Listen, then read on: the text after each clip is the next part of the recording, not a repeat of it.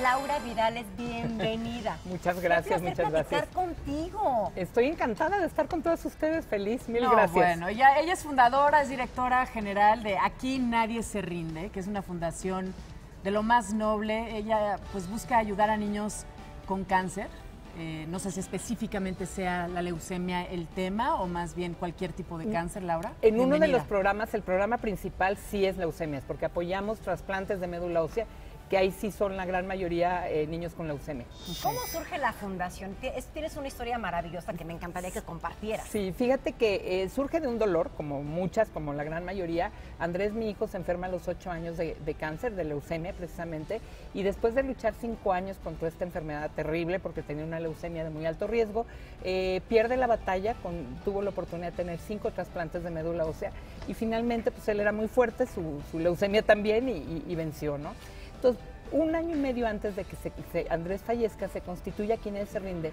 Y Andrés nos deja a mi esposo y a mí la tarea de seguir ayudando a otros niños ¿Pero que qué como les él. dijo? ¿Qué les dijo? Eh, que quería que, mamá, por favor, hay que ayudar a Bruno que tiene, este, que va para un trasplante, hay que ponerle un catéter a no sé quién, hay que ayudar con Que la ya eran sus compañeritos. Sus compañeritos de Ah. lucha, claro, lo que él vivía. Entonces yo creo que él sabía muy en el fondo que se iba a morir y al dejarme con este trabajo, él sabía que me iba a dar, dar la, fuerza, la fuerza, la fortaleza, la, la resiliencia que se necesita para, para pasar por la enfermedad y la muerte de un hijo, ¿no? Sobre todo por la muerte. Y la verdad es que sí sufro, sí lloro, claro, Claro. que me pega durísimo y le extraño como loca. Ahorita en febrero acaba de cumplir 11 años de fallecido y bueno, tú no sabes lo que es esto, ¿no?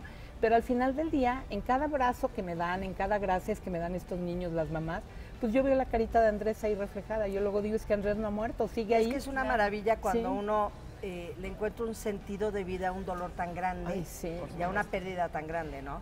Porque aparte, Laura, yo la conozco ya hace mucho y de veras le... Pero le trabajas Le durísimo para, para sí. sacar fondos, para poder Sí, mantener, es porque bien todo esto es, sí. cuesta mucho. De hecho, Sí. vienes a, a contarnos de un evento. Claro, porque uno tiene sueños, pero la única forma de llevarlos a cabo es con lana, ¿no? O sea, y ahí es. Así es. Entonces te voy a platicar, hemos hecho varios eventos en la fundación eh, organizados por aquí nadie se rinde para recaudar fondos. Y uno de esos es el que vamos a tener este sábado, el sábado 3 de marzo. Eh, eh, va a ser en hotel por Bosques de las Lomas. Y la verdad está bien padre porque Ah, van por a uno ser- que se llama el, así como parece un pantalón, ¿no? Exacto. Sé Ajá, junto, el hotel de Junto. exacto. Y sabes que vienen 36 de los mejores restaurantes de la Ciudad de México. Tú sabes que en la Ciudad de México tenemos una diversidad de sabores, de Sí. colores, de bueno, la gastronomía es increíble. Y entonces tenemos chefs que representan la comida, pues por supuesto la comida árabe, como aquí el chef que tenemos ahorita cocinando para Hola, nosotros, Friedman. este, a Daniel Friedman, pero tenemos comida italiana, tenemos comida este, de la India, comida internacional. española, internacional. Hay de que ir con madre. Hambre, hay que ir con ganas de ayudar. Claro, claro, ¿Podemos llevar a nuestra familia? Por supuesto, por supuesto. Todo el mundo está bienvenido. Aquí esto es este quien quiera y quien pueda y quien este, tenga el tiempo para acompañarnos. Es un, es un evento de 2 a 7 de la noche. Tú pagas el boleto y te incluye probar de todos los restaurantes y va a haber casas de vinos, de restaurantes, de mezcales, de todo Wow. y todo. ¿Tú pagas el boleto? Tomas, ¿Dónde? comes, Eh, todo. lo puedes pagar, ya. lo puedes pagar en cualquiera de los Está restaurantes buenísimo. tienen tienen ahí Y ya no, todo. porque el lugar... Sí. Sí, porque bueno, no se presta y ahí la, la luz Sí, está prendida. Ya todo. Pues bueno, como es en un hotel, nunca se sabe Bueno. dónde termina uno, ¿verdad? donde termina uno, Ok, pero bueno, pero tú cuéntanos. puedes comprar en cualquiera de los restaurantes este, que están participando o en la fundación. Y para verlo muy fácil, en- se pueden meter a nuestra página www.aquineserrinde.org.mx y ahí checan qué restaurantes están participando. Claro. Y ahí vienen los Sabe la teléfonos de la dirección fundación. bien y todo. Y dime Ujú. una cosa, ¿los boletos se adquieren ahí? Ah, sí, era- Ahí mismo. Ahí puedes. Ajá, también, por ejemplo, eh, pueden llegar y comprarlos ahí. Lo que pasa es que luego hay un poco de cola, entonces Ajá, es mucho mejor llegar, llegar con, con tu tu boleto. boleto. claro. ¿Hay alguna cómodo. página donde nos podamos meter para saber más sea, Mira, te- información? no, la página de la fundación es aquí en pero creamos una página en No lo Facebook. digas tan rápido, es que uno piensa que ya Sí, uno que ya lo captamos. Que lo estamos viendo escrito. Triple Ah, lo van a tener escrito, www.aquinesrinde.org.mx. Sí. Pero tenemos en Facebook y en Twitter y esto, creamos una página del evento, se llama Sabores CD Mex, Sabores de la Ciudad de México. Si lo ponen así aparece. Y ahí sale la biografía de todos los chefs que nos van a acompañar. Eh, sale la foto para que los conozcan. Es una sorpresa el platillo. Aquí Claro. eso, cada chef nos va a traer su, su propuesta y pueden revisar qué es lo que va a haber ese día.